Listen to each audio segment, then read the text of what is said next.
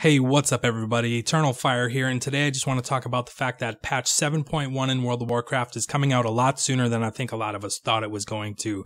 It's going to be hitting us on October 25th, and we're going to be getting a new raid already, which is kind of crazy because I feel like we just got into Emerald Nightmare.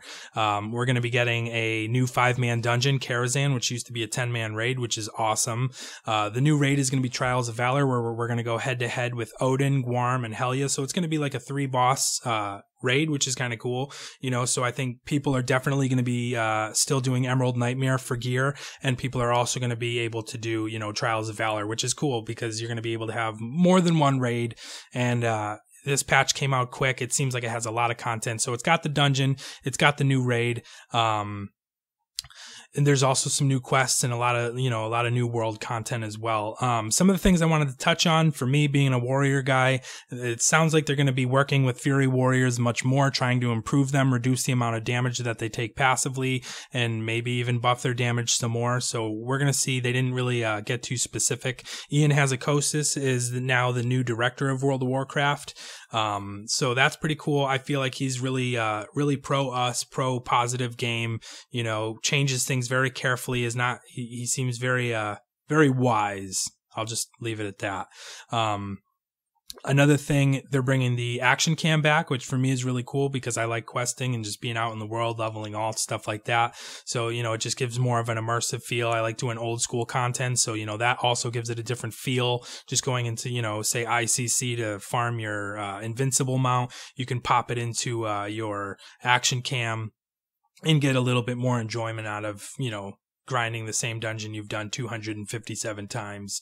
So, you know, that's that's pretty cool. They're going to still be working on class balances. Uh what they said is they're working on class balances before um patch 7.1 hits and they'll also still be working on them after 7.1. So, you know, they're they're tuning everything the best they can and they're going to try and just keep working on things. The only thing they want to be careful for, and this is what I like about Ian, is they don't want to just simply, okay, well, fire mages are way too overpowered, you know, according to the, the logs online because that's what everybody's playing and not Frost. Um, and then they make Frost so blatantly overpowered because nobody's playing it that now everybody has to abandon their artifact weapon for fire and now level their artifact weapon for Frost. And everybody is, you know, teed off because, you know, they spent all this time putting artifact points into their fire mage and now their fire mage spec is basically useless. But the nice thing about it is, is also with your artifact knowledge is that you know, uh, the further you get in your artifact knowledge, the easier it will be to catch up, you know, with your alt specs for that class. So, you know, that's another thing to keep in mind. Um, they're to, you know, continue to do class tuning, which I think is really cool. Um, and then what else? They kind of talked about secondary stats. They weren't really happy with the way secondary and primary stats came into play. Um, it seems like secondary stats are way more important than your primary stats, which, you know, you would think they should be secondary, but you know, whatever. They're going to continue to try and work on that and tweak that. Uh, Asmongold had a really good point that, you know, why don't you just bring reforging back? You know, you might not get a piece of gear with all your ideal stats, but at least you can reforge something, you know, and I thought that was, uh, you know, a really good point. You know, we had that. So say you didn't get that piece of gear with ideal stats, but it was a better item level, you could just reforge and then, you know, at least get some more benefit out of that piece of gear. But, you know, we'll see, we'll see if they do anything with that or just, you know, revamp it altogether. We'll see. Another thing is the crafting costs. How many of you guys are doing, uh, dungeons with flasks? Yeah, I know they're super expensive. Um, one of the things they said, you know, the the I think the root cause of probably this problem is that in Warlords of Draenor, we all had our own herb garden and our own, you know, mining uh, cave that we could just get all our materials from, and we really didn't need gathering professions. That was more of a waste of time than anything for the most part. So you know, you had a lot of players abandoning their gathering professions and we had two crafting professions. Well, guess what? Legion hit and we don't have that herb garden anymore. So, you know, a lot of us are like, well, how the heck am I going to, you know, gather this stuff? I have, you know, blacksmithing and engineering. But so, you know, a lot of people are going to having one crafting profession, one gathering profession, which I think Blizzard, you know, that's what they want. So uh, to an extent, I think people will become more self sufficient. But also with 7.1, you have the new blood of Sargeras's, which we've all been, you know, just accumulating in our banks. You know, some of us have hundreds of them.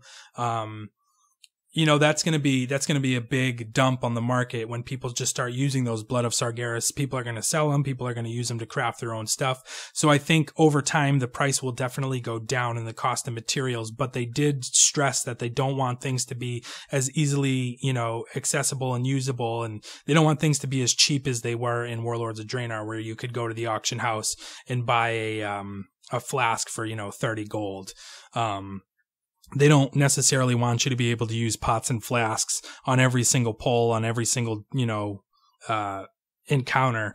You know, they want you to think about them and use them when they're more beneficial. You know, when would this really benefit me to use?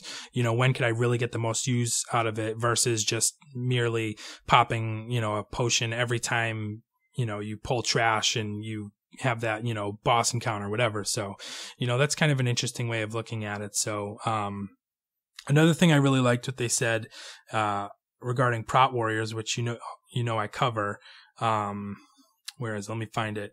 I liked what they said right here. It says uh, protection warriors. Some of the rage from damage taken was a throwback to the old school warrior days. Getting punched makes you angry and you use that anger to fuel your tanking abilities. Now I think that's really cool. You know, they did do that where, you know, taking damage directly helps you uh, build rage and it kind of scales as the difficulty you go through. So, you know, if you're doing solo content or heroics, you might have more of a, tr- you know, work a little bit harder to maintain the rage that you're building, or you could just power pull, you know, everything. Just saying. Um, you might have to be a little more careful, but you know, you go to a higher end where you're going to be taking much larger hits and those hits, you know, that the damage you take, you're going to get a lot more rage. So, you know, that go kind of goes back into another whole thing, and I won't get into it because I I kind of go mental over it. But uh, you know, I think it's really cool. I think we're going to have two raids close together. I think people are going to be, you know, still in Emerald Nightmare. I think people are, you know, going to obviously be in Trials of Valor. People are going to be enjoying Karazhan because Karazhan was always an awesome place. I think Ian Hazzikostas has been doing a great job. And honestly, those are just some of the changes that are coming with 7.1. I think there's a ton of content coming out. You know, it doesn't feel empty like 6.1 did, where it's like, hey guys, you got a, uh, you got a camera that you can take selfies with Yay. So, anyway, guys, those are some of my thoughts. Those are the things I'm excited about. Uh, did I even mention legendaries? I don't think I mentioned legendaries. Holy crap. So legendaries, uh, they basically said that there is some sort of bad luck protection.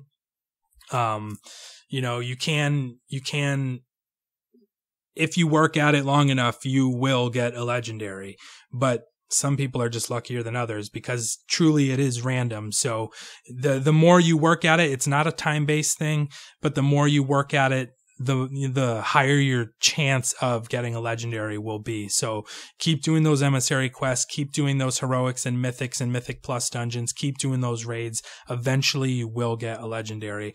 I haven't gotten mine yet and I'm seriously still waiting for it. So I'm looking forward to getting it. I hope it's a good one, not a crappy one. And they did say that they're going to be trying to fix some of the legendaries that are definitely subpar.